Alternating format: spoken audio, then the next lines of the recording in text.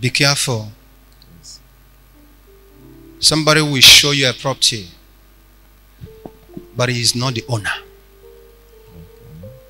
Hmm? Yes. He will show you a property, but he's not the owner.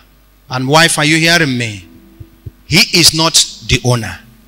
So be careful.